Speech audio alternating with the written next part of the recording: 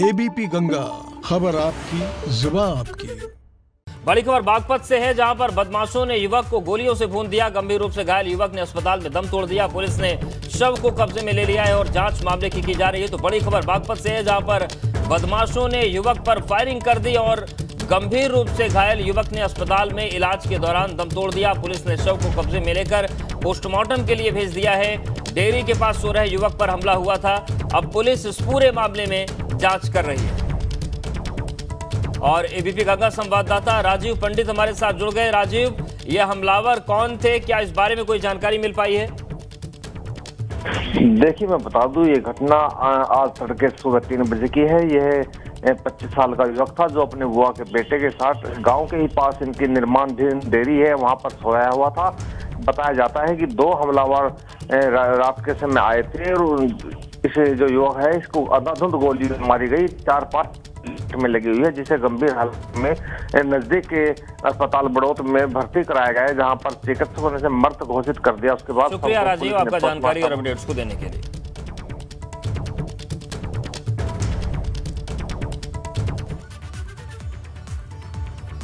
और अब बात करते हैं किसानों पर घमासान की। कल ट्रैक्टर परेड के दौरान हुई हिंसा के बाद अब हालात काबू में है। लाल किले को खाली करा लिया गया है तो ट्रैक्टर अब आंदोलन स्थलों पर वापस लौट चुके हैं। सिंघू टीकरी गाजीपुर बॉर्डर पर किसान वापस पहुँच चुके हैं तो वहीं संवेदनशील स्थानों पर अतिरिक्त फोर्स तैनात कर दी गई है। एहतियात बरतते हुए लाल किला मेट्रो स्टेशन के गेट को बंद कर दिया गया है। सूत्रों के मुताबिक खुफिया एजेंसियों को अभी भी हिंसा की आशंका है। दिल्ली और बॉर्डर इलाकों में सीआरपीएफ की 15 कंपनियाँ दिल्ली पुलिस के साथ तैनात की गई हैं। तो ये अपडेट प्रदर्शनकारियों से अब खाली करा दिया गया है लाल किला। संवेदनशील जगहों पर अतिरिक्त फोर्स तैनात कर दी गई है। ये हम आज की ताज़ा तस्वीरें आपको दिखा रहे हैं। दिल्ली में सीआरपीएफ की 15 कंपनियाँ तैनात की गई हैं। कल हुई हिंसा में छियासी पुलिसकर्मी घायल हुए थे।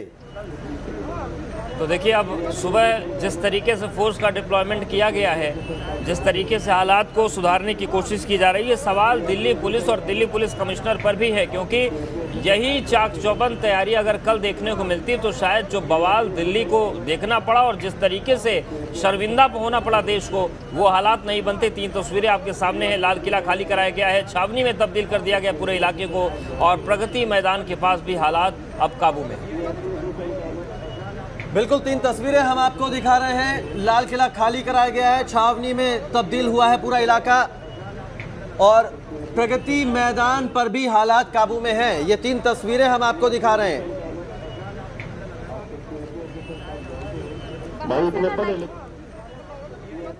और सिंघू बॉर्डर पर किसान नेताओं की बैठक हो रही है। कल हुई हिंसा को लेकर बैठक हो रही है। ट्रैक्टर परेड के दौरान कल हिंसा हुई थी। तो अब सिंघू बॉर्डर पर किसानों की बैठक चल रही है।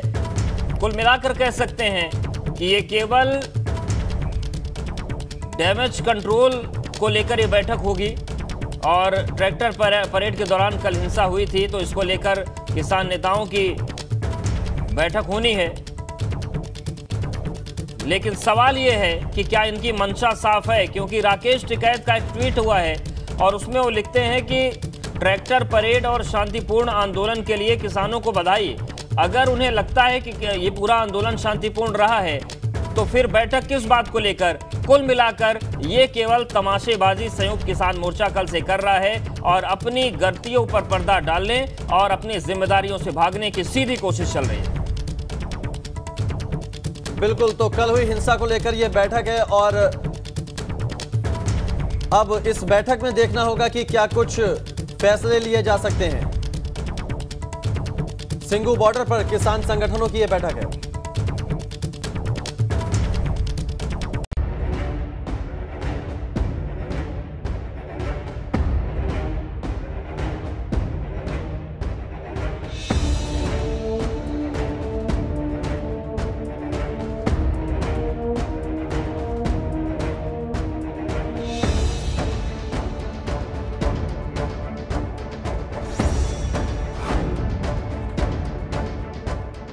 छब्बीस जनवरी के दिन किसान आंदोलन के नाम पर मचाए गए कोहराम की गवाही देती ये छह तस्वीरें हैं। साठ दिनों से ज़्यादा शांतिपूर्ण चलने वाला किसान आंदोलन आखिर भड़क क्यों गया?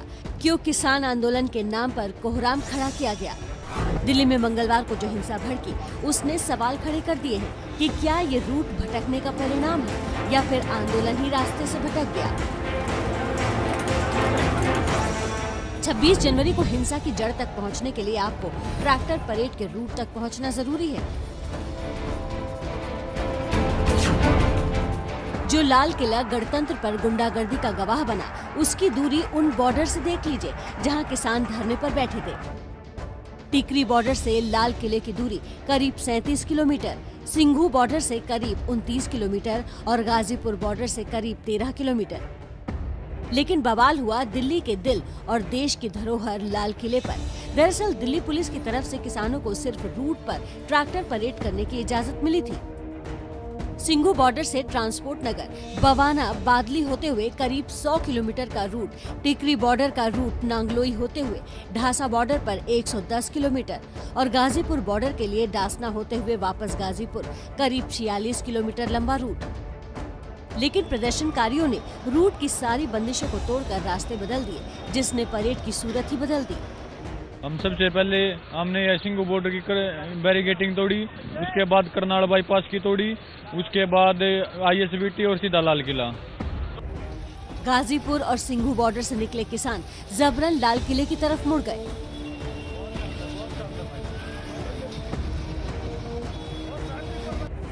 किसानों को पुलिस की तरफ़ से मिले रूट पर आपत्ति तो थी, लेकिन पंजाब के किसान मजदूर संघर्ष समिति ने सबसे पहले सिंघू बॉर्डर का बैरिकेड तोड़ दिया।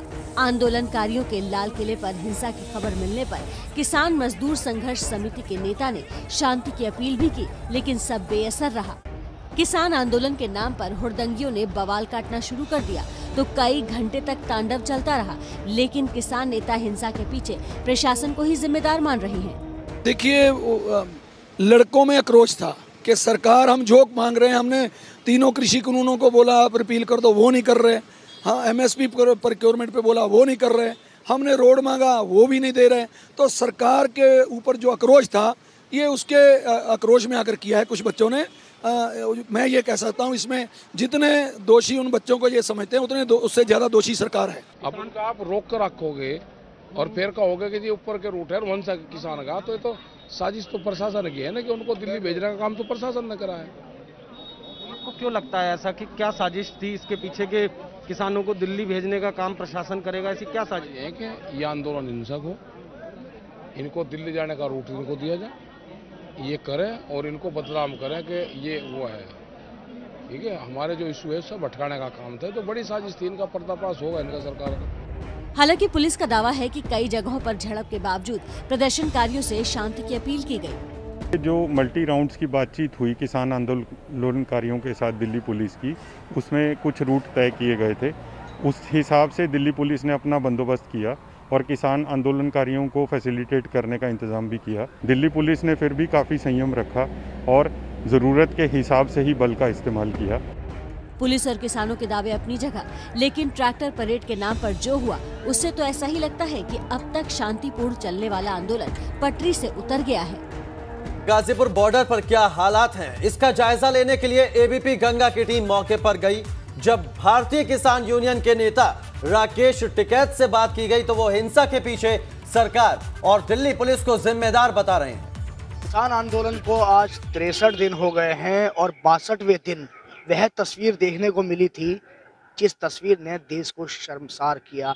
आज सुबह हम गाजीपुर बॉर्डर पर पहुँचे हैं और आपको तस्वीरों के माध्यम से दिखाते हैं कि जो बैरिकेटिंग तोड़ी गई थी, अब वे बैरिकेटिंग लगा दी गई हैं। दोबारा यहाँ पर बैरिकेटिंग लगा दी गई हैं। वहीं अगर यहाँ की आज की सुबह की हलचल की बात करें तो यहाँ पर आज कुछ किसान कम ज़रूर हुए हैं। और इन किसानों के चेहरों पे खामोशी देखी जा सकती है, जो किसान लगातार यहाँ पर पिछले बासठ दिन से डटे हुए थे और तिरसठवें दिन भी यहाँ पर डटे हुए हैं, उनसे बात करते हैं। जी, ये बताइए कि कल जो हुआ, क्या वो होना चाहिए था? ना, देखो, बिल्कुल नहीं। कल गणतंत्र दिवस हमारा था, ऐसा बिल्कुल नहीं होना चाहिए था। और इससे एक किसान जो यहाँ आंदोलन कर रहा है, उनके बीच में कोई आदमी अगर इस तरह की बात करता है तो बिल्कुल गलत है। और इसमें कह दिया टिकैत साहब ने, हमारा उन लोगों से कोई मतलब नहीं है, ना कोई वास्ता हमारा है, क्योंकि इस संगठन का कोई भी आदमी बदतमीजी नहीं कर सकता, ये हमें जानते हैं इस बात को, क्योंकि आंदोलन आज से नहीं, सन पिछासी से हमारा संगठन बना हुआ है और आज तक कोई भी इस तरह की घटना नहीं हुई और ना ही कोई इस तरह का कोई किसान उपात करता। तो केवल यही है कि हम तो आज भी यही है सरकार से मांग के, सरकार किसानों की बात सुने और ये जो लापरवाही सरकार की रही है, हम तो सरकार की लापरवाही बताएँगे कि लगभग दो महीने यहाँ हो गए हमें, तिरसठ दिन हो गए तो सरकार को इतना लंबा आंदोलन नहीं चलवाना चाहिए किसानों की बात सुनकर तो घर भेजना चाहिए था। और अगर कल की तस्वीरों की बात करें तो लगातार ट्रैक्टरों से बैरिकेटिंग तोड़ी गई लगातार किसी के पुलिस वाले के ऊपर चढ़ाया गया मीडिया को पीटा गया। आप बताइए क्या कहना है आपका? देखिए पिछले इकसठ बासठ दिनों से हमारा आंदोलन बिल्कुल शांतिपूर्ण रहा। और हम लोग टिकैत संगठन के सिपाही अनुशासित सिपाही हैं। हमारे संगठन का कोई भी कार्यकर्ता ये कभी नहीं चाहेगा कि कहीं भी हमारे देश के मान प्रतिष्ठा को कहीं क्षति हो। ये वो किसान हैं जो पिछले तिरसठ दिन से यहाँ आंदोलन कर रहे हैं, लेकिन कल जो तस्वीर सामने आई है, उससे ये भी संतुष्ट नहीं है। इनका कहना कि वो लोग कोई और थे जिन लोगों ने इस तरह की घटना को अंजाम दिया। गाजीपुर बॉर्डर से एबीपी गंगा के लिए शक्ति सिंह। और सीधे रुक करते हैं। शक्ति हमारे साथ बने हुए हैं। उसके साथ साथ आगरा से नितिन- भी जुड़ गए हैं। शक्ति, जिस तरीके से पूरी तस्वीर है, किसान संगठन और किसान नेताओं की मंशा पर सवाल उठ रहे हैं, क्योंकि कल इतना हंगामा हुआ और राकेश टिकैत ट्वीट करके उस पर ट्विटर में लिखते हैं कि शांतिपूर्ण आंदोलन और ट्रैक्टर परेड के लिए देश के किसानों को बधाई। आप 60 दिन से कवर कर रहे हैं। राकेश टिकैत से आपकी लगभग रोज बात होती है। क्या इतना जमीर उनका जागा कि इस बात पर अफसोस जला, जता लें कि आपका भी कैमरा तोड़ा गया, आपके कैमरा पर्सन से भी मारपीट की गई। किसी बात का अफसोस है, ये सारे ठहाके मार रहे हैं। ये देखिए राकेश टिकैत जो अपने मंसूबों को लेकर चल रहे थे वह उनके पूरे हो गए उनके चेहरे पर कल भी हँसी देखी जा सकती थी क्योंकि उन्होंने जो शक्ति प्रदर्शन दिखाना था पश्चिमी उत्तर प्रदेश से काफ़ी सारे उन्होंने किसान बुलाए थे कि जैसे कि दिल्ली में जाना है और दिल्ली को फतेह करना है। लगातार वो किसान आज सुबह हमें यहाँ नज़र नहीं आए क्योंकि वो किसान सिर्फ़ और सिर्फ़ 26 जनवरी के लिए बुलाया गया था। किसी लब्बो लुहाब कुछ ऐसी बातें कहकर बुलाया गया था कि सिर्फ़ शाम तक रहना है और एक शक्ति दिखानी है दिल्ली में जाने के बाद एक प्रदर्शन करना है और आप वापस चले जाएँगे। तो जिस तरीके से राकेश टिकैत की बात करें तो समय समय पर वह अपने बयान बदलते रहे हैं। और राकेश टिकैत के अगर बयानों की बात करें तो हर दिन उनका एक अलग ही बयान हुआ करता था।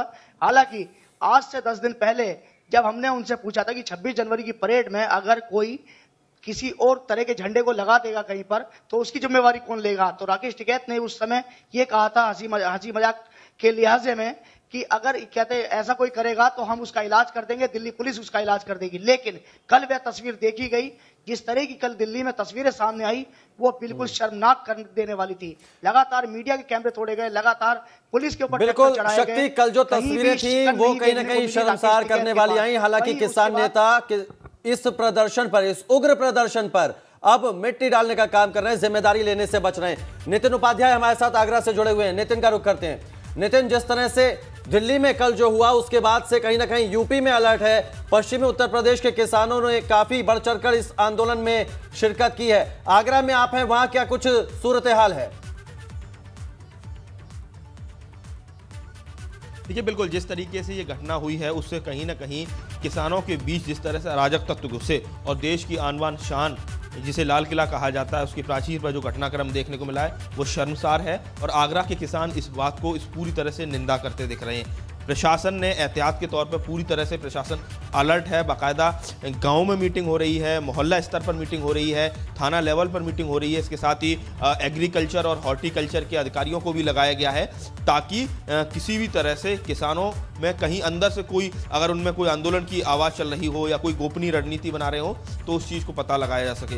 कुल मिला के आगरा और आगरा के आसपास के ज़िले हैं। जोन लेवल पे रेंज लेवल पे अधिकारी अपने लगातार प्रयासरत हैं कि कहीं भी किसी भी तरह से किसान हिंसक ना हो। लेकिन ये भी देखा गया कि कल कई सारे किसानों के जत्थे जब एक्सप्रेस वे पर चढ़ने की कोशिश कर रहे थे तो उनको रोका गया। सैकड़ों की तादाद में ट्रैक्टर लेकर कई सारे किसान संगठन के से जुड़े हुए लोग हैं जाने की कोशिश कर रहे थे। उनको रोका गया है। समाजवादी पार्टी का जो प्रोटेस्ट है उसको भी कहा जाए सख्ती से दबाने की कोशिश की गई है।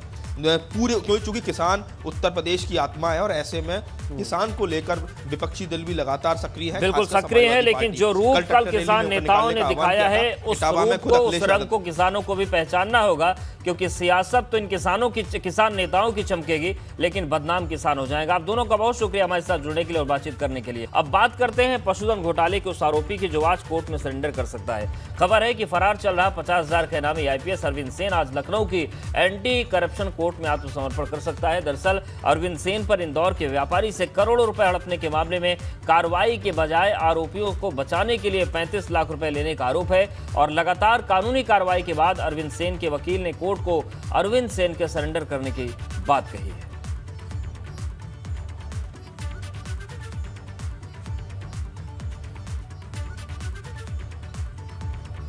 और इसी खबर पर ज़्यादा जानकारी के साथ शैलेश, हमारे संवाददाता लखनऊ से जुड़ गए। शैलेश अरविंद सेन आज सरेंडर कर सकता है कोर्ट में। उसके वकील ने यह बात कही है, क्या कुछ जानकारी निकल कर आ रही है? क्या वक्त कुछ मुकर्र किया गया? किस वक्त सरेंडर हो सकता है? देखिए, अभी तक समय के बारे में जानकारी नहीं दी गई है, लेकिन इतना मानकर चलिए कि एक तरफ़ जहाँ अरविंद सेन के सरेंडर की बात है तो दूसरी तरफ़ जो पुलिस लखनऊ पुलिस कमिश्नरेट है, वो भी काफ़ी चौकन्ना है, क्योंकि पुलिस ये आमतौर पर नहीं चाहती है कि कोई सरेंडर करे, बल्कि गिरफ्तारी हो। अगर सरेंडर होता है तो उसमें कहीं ना कहीं पुलिस की फजीहत होगी। इस वजह से पुलिस यही चाहेगी कि उस मामले में सरेंडर से पहले अरविंद सेन की गिरफ्तारी कर ली जाए। बहरहाल देखना होगा आगे किस तरह से ये सब होता है। लेकिन जिस तरह से कोर्ट पहले ही अरविंद सेन को भगौड़ा घोषित कर चुकी है, जिस तरह से उसके नाम पर जो आरोपी थे, उनसे पैसा लेने का आरोप है, गंभीर मामला है, और देखिए सबसे बड़ी चीज़ कि सरकार जो है, वो इस पूरे मामले को लेकर काफ़ी नाराज़ है पूरे मामले में, और लंबे समय से पूरा पुलिस अमला जो है वो लगा हुआ था अरविंद सेन को ढूँढने में और अभी भी लगा हुआ है। और इसी बीच में आज अरविंद सेन के सरेंडर की बात है तो निश्चित रूप से पुलिस और ज़्यादा अलर्ट है कि सरेंडर से पहले अगर संभव हो तो उसको अरेस्ट कर लिया जाए। देखना होगा आगे कि क्या वो अरेस्ट होता है या फिर वो सरेंडर करता है वहाँ पर। बिल्कुल। बिल्कुल। शुक्रिया शैलेश आपका जानकारी और अपडेट्स को देने के लिए तो ये पूरी तस्वीर है और अब देखने वाली बात होगी कि ये सरेंडर होता है या नहीं होता? कुशीनगर दौरे पर सीएम योगी आदित्यनाथ जाएँगे। कुशीनगर दौरे में कई योजनाओं का शुभारंभ करेंगे और सुबह 10 बजे अधिकारियों के साथ गोरखपुर में बैठक होगी। समीक्षा बैठक के बाद एक बजकर दस मिनट पर कुशीनगर के लिए मुख्यमंत्री रवाना होंगे। तीन दिवसीय दौरे पर सीएम योगी गए हैं और आज महत्वपूर्ण कार्यक्रम है कुशीनगर जाने वाले हैं सीएम। तो सबसे पहले गोरखपुर में एक समीक्षा बैठक होगी अधिकारियों के साथ और उसके बाद एक बजकर दस मिनट पर कुशीनगर के लिए रवाना होंगे और डेढ़ बजे कुशीनगर पहुँचेंगे सीएम। डेढ़ बजे बुद्ध पार्किंग स्थल में सीएम का हेलीकॉप्टर उतरेगा। दो बजे मुरारी बापू के कथा पंडाल में रहेंगे सीएम। और उसके बाद चौरी चौरा शहीद स्थल के लिए रवाना होंगे प्रधानमंत्री आवास योजना। शहरी के लाभार्थियों को ऑनलाइन धनराशि चार बजे ट्रांसफ़र करेंगे। गोरखपुर में आयोजित इस कार्यक्रम में प्रदेश के सभी जिलों के तीन लाख बयालीस हज़ार लाभार्थियों के खाते में चौबीस सौ नौ करोड़ रुपए ट्रांसफ़र किए जाएँगे।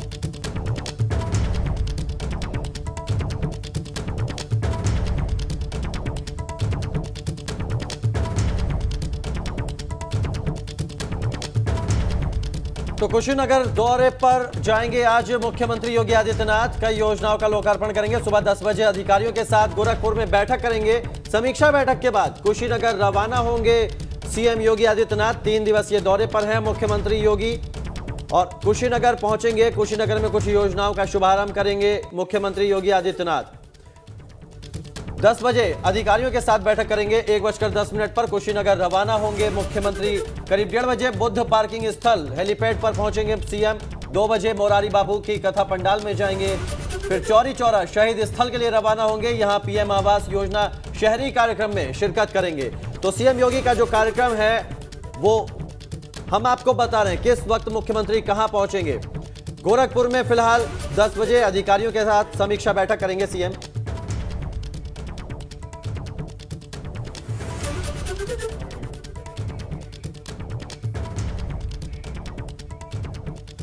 बिल्कुल, और बात कर लेते हैं मुजफ्फरनगर की, जहाँ हादसे में मौत पर हंगामा हुआ है। ट्रैक्टर से टकराने के बाद एक युवती की मौत पर हंगामा हुआ है।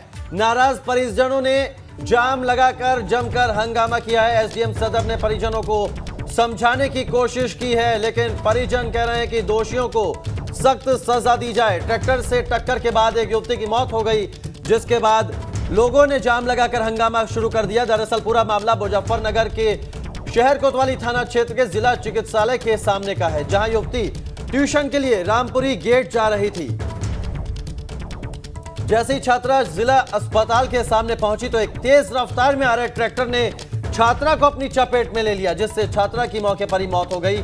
सूचना मिलते ही छात्रा के परिवार में कोहराम मच गया और सैकड़ों की तादाद में मृतक के परिवार वाले अस्पताल चौराहे पर पहुँच गए। और शव को सड़क पर रखकर जाम लगा दिया। जाम की सूचना मिलते ही पुलिस प्रशासन एक्टिव मोड में आ गया। तो आपको बता दें कि ट्रैक्टर का जो कहर था पूरे दिन टूटा और प्रशासन हालाँकि एक्टिव मोड में आया। अनफानन अस्पताल चौराहे पर पहुंचकर छात्रा के परिवार वालों को समझाने की कोशिश की गई मगर छात्रा के परिजनों ने शव को उठाने से इनकार कर दिया था। युवती थी जिसकी करीब 15-16 साल एज थी जिसका एक एक्सीडेंट हुआ था और उसको हाई सेंटर रेफर किया है लेकिन पता चला कि वहाँ पर उसकी मृत्यु हो गई है। और जो भी परिवार वाले उसमें लिख के देंगे, उनके अनुरूप कार्रवाई की जाएगी। परिवार वालों की ये मांग थी कि जो भी उसमें वाहन है जिससे एक्सीडेंट हुआ है, उसके विरुद्ध कार्रवाई की जाए। तो हमारी टीम उसमें लग गई है, सीसीटीवी कैमरे खंगाले जा रहे हैं। जो भी वाहन जिसने एक्सीडेंट किया है, शीघ्र अतिशीघ्र उसके खिलाफ वैधानिक कार्रवाई। तो किसान नेताओं को टोपी ट्रांसफ़र के बजाय अपनी गलती माननी होगी, क्योंकि ट्रैक्टर से जो हादसा हुआ है, इसमें किसान आंदोलन का ही परिणाम है।